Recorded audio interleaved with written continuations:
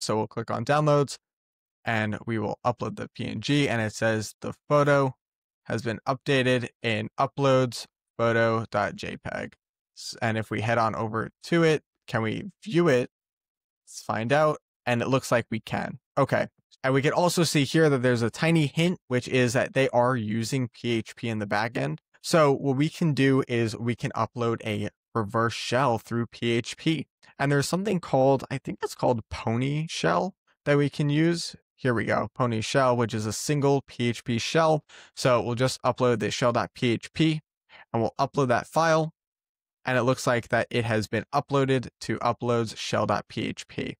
So we can come over here and we can paste it on in and we can see that we do get the shell and it looks almost identical to an actual shell, but it's just on the web server instead. If we do an ls here, we could see that we do have RC onto the box.